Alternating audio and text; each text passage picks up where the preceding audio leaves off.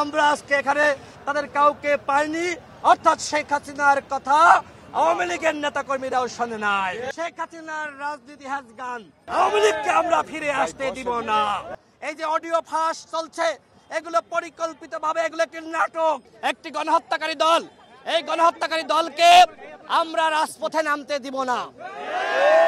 গণ অধিকার পরিষদের স্পষ্ট ঘোষণা, যারা বাংলাদেশে গণহত্যা চালিয়েছে যারা মানুষকে গুম করেছে খুন করেছে এই গুমকারী খুনকারী শেখ হাসিনার দশর এবং শেখ হাসিনাকে বাংলাদেশে রাজনীতি করতে দেওয়া হবে না। সংগ্রামী সাথী বন্ধুগণ এই অন্তর্বর্তীকালীন সরকার প্রথম দফায় জাতীয় পার্টিকে সংলাপে ডেকেছিল। আমরা তখন স্পষ্টভাবে ঘোষণা দিয়েছিলাম প্রয়োজনে ওই যমুনা ঘেরাও করা হবে। আজকে আমরা স্পষ্টভাবে বলছি আওয়ামী লীগকে যদি বাংলাদেশে ন্যূনতম রাজনৈতিক স্পেস দেওয়ার চেষ্টা এই সরকার করে তাহলে আমরা এই সরকারের বিরুদ্ধে লড়াই শুরু করব। শেখ হাসিনাকে এখনও পর্যন্ত দেশে ফিরিয়ে আনার কোন তৎপরতা আমরা লক্ষ্য করছি না।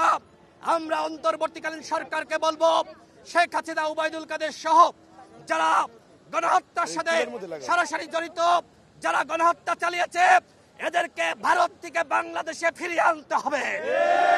এদেশের জনগণ মনে করে এই সরকার আওয়ামী লীগকে এক ধরনের ছাড় দিচ্ছে।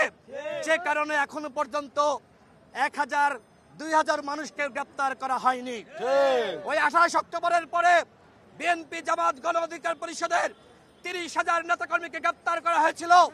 এখনও পর্যন্ত আওয়ামী লীগের তিন হাজার নেতাকর্মীকে গ্রেপ্তার করা হয়নি। আমরা স্পষ্টভাবে বলতে চাই এই যে আওয়ামী লীগের পেতাত্তারা গতকাল ঘোষণা দিয়েছিল শেখ হাসিনা একটি অডিও ফাঁস করেছিল। এই যে অডিও ফাঁস চলছে এগুলো পরিকল্পিত ভাবে এগুলো একটি নাটক। এই নাটক করার মাধ্যমে. আওয়ামী লীগের নেতা কর্মীদেরকে শেখ হাসিনা উস্কানি দিচ্ছে। শেখ হাসিনা তাদেরকে মাঠে নামানোর চেষ্টা করছে। আমরা বলতে চাই শেখ হাসিনার রাজনীতি হ্যাজ গান সে রাজনীতি করতে বাংলাদেশে পারবে না। আওয়ামী লীগকে আমরা ফিরে আসতে দিব না। সংগ্রামী সাথী বন্ধুগণ, আজকে আওয়ামী লীগের কার্যালয়ের সামনে আমরা অবস্থান করছি। আমরা জাস্ট এই কারণে এসেছি। গণমাধ্যমে, সামাজিক যোগাযোগ মাধ্যমে আমরা দেখেছি যে কার্যালয়ের আশপাশে আওয়ামী লীগ ছাত্রলীগের নেতা কর্মীরা ঘুরে ফিরে বেড়াচ্ছে। আমরা আজকে এখানে তাদের কাউকে পাইনি। অর্থাৎ শেখ হাসিনার কথা আওয়ামী লীগের নেতা কর্মীরাও শোনে নাই। এজন্য আমি আওয়ামী লীগ ছাত্রলীগ যুবলীগকে ধন্যবাদ জানাচ্ছি যে তারা শেখ পরিবার শেখ হাসিনাকে বয়কট করেছে। বাংলাদেশে যদি এই আওয়ামী লীগের প্রেতাত্মারা আওয়ামী লীগের দোসররা ক্ষমা চেয়ে রাজনীতি করতে চায় তাহলে তাদেরকে দুধ দিয়ে গোসল করে রাজনীতি করতে আসতে হবে।